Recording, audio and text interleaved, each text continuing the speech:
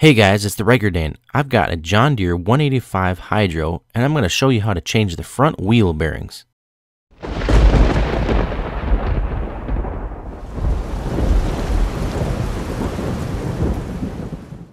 Okay, so these bearings are pretty easy to replace. So all you're going to do is take the snap ring off the wheel, and then you're able to just slide the whole wheel right off of the axle there. As you can see, it's missing a little bit of grease. And this side isn't too bad. As you can see, the bearing is still pretty good, pretty intact. But it's, a, it's I think it's got a little bit of play in it on both the inside and the outside.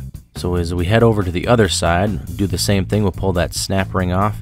And as you can see, I can wiggle this wheel all over the place because my uh, bearing on this side is really, really loose.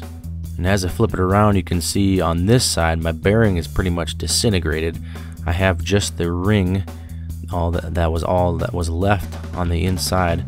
Uh, but as you can see, this bearing here has a ton of play in it. And that's going to make your wheel just, just be really loose on your axle as you drive. And this side obviously has nothing on it. So we definitely need to replace the bearings. You need four bearings, two for each wheel inside and outside and then you're going to need a snap ring for each side. And then you need to get some grease and you can get lithium grease or just a standard uh, multi-purpose grease high temp grease. And then I'll show you what this piece of rebar is for in a second. Okay so this is the ring that was all that was left out of that bearing on the left side. And as you can see I'm missing a 99.9% of my bearing.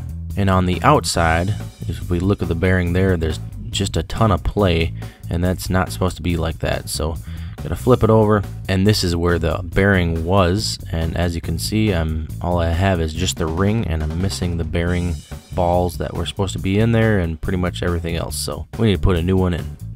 Okay, so if you don't have a big punch, you can use this piece of rebar or just a steel rod because all we need to do is just stick that through the wheel to be able to tap out that bearing. And just tap, tap, tap until finally that bearing will come out. And here's the one side, and as you can see, it's got a lot of play and we need to replace it. So even though the other side didn't really have a bearing in there, they still have the wraith or the outside ring uh, part of the bearing that's still in there. So we need to tap that out and make sure it's nice and clean. This wheel has no uh, pieces of metal in the wheel itself. We want to pull out all those pieces of the bearing. So we want to make sure that inside of that wheel is nice and clean. There aren't any metal shavings or anything because we want to make sure that that new bearing will go in nice and easy. And then we'll just do the other wheel and use the same thing. Use that rebar, tap that bearing out, and you just flip over the wheel and pull that bearing, get that one out of the way. And then we'll do the other side as well. Just tap, tap, tap until it finally comes out. And that one is out as well. And if we take those bearings and compare them to the new ones, you're going to see a giant difference. These new ones are going to be way better and the uh, wheels are going to roll a lot easier. Okay, so we're just going to take some of that grease that we got and we're going to put it on the outside of the bearing. Just make sure we get it nice and lubed up so it will slide into the wheel a lot easier.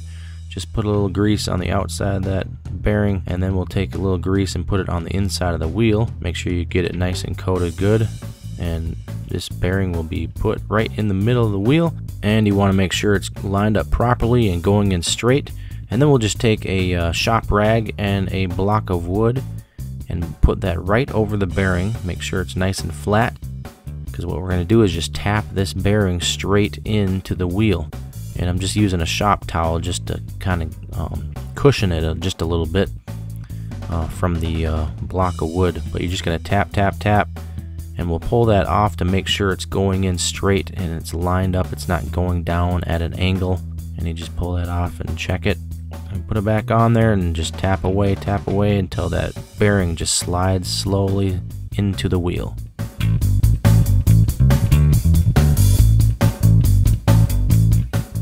So if the wheel is bouncing a little bit from being on a table or a shop table just put the wheel right on the ground and start hammering that bearing in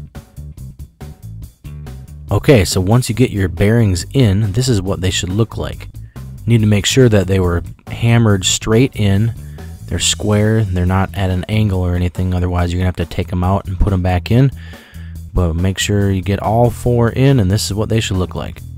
So let's clean up these wheels before we put them back on. Okay, the last thing we need to do before we install the wheels is to make sure that we pack the inside of the wheel with grease. And this is to make sure that the wheels and the bearings don't burn up, they don't get too hot, they're nice and well lubricated. But what you can do is use a spatula like this and you can pack that grease in there. And all you do is just keep pushing the grease in there until it goes in a little bit more. And just keep adding until it comes out the other side. So we're going to flip it over. And as you can see it started to come out the other side. But this really doesn't mean that the inside of the wheel is full so what I'm going to do is uh, just put it a little bit more on this side. And when you think you've got a lot of it packed in there you can flip it up and you want to hold your finger on one side and push on the other side and you'll kind of feel a bubble because there'll be air inside. And there really won't be as much grease inside the wheel as you think there is. So you need to just keep pushing the grease in until it is completely packed full. So after you get the wheels packed full of grease you're just going to take a rag and clean off the excess. And so now they are ready to be installed on the lawnmower. Okay, so if you don't have a lock ring tool, you can just use a small needle nose and just put the two ends in there and then just squeeze the opposite way as you normally would. But this will open up that lock ring. Okay so the first wheel you just need to have a rag ready because there's going to be a lot of grease that's going to come out as you put it on but just hold that rag over the end of the bearing there and just slide it right on and after you slide it on just take that rag and wipe off all the excess grease and now it's time for that lock ring. So just take that needle nose pliers, squeeze the opposite way and open it up and just snap it right over the end. Okay, then the last thing to do is just to put on your wheel cap. And then we'll do the exact same thing on the other side.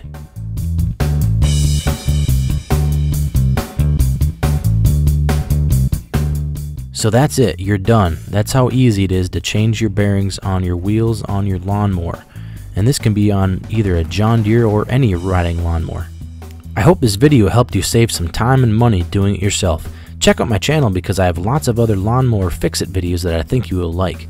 Also make sure you subscribe and leave a comment down below. I would love to hear your thoughts on this video or any other video I have created. Hey, also follow me on Twitter and Instagram too. All the info will be in the description box below. Thanks for watching, and I'll see you later.